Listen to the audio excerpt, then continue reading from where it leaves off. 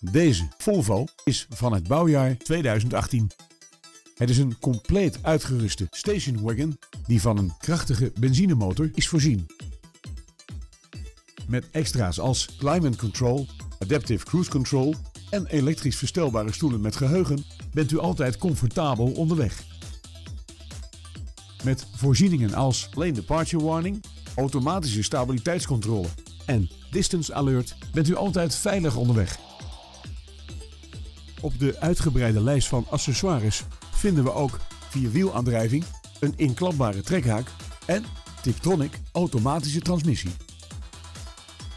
Vanzelfsprekend leveren wij deze auto met BOVAG-garantie.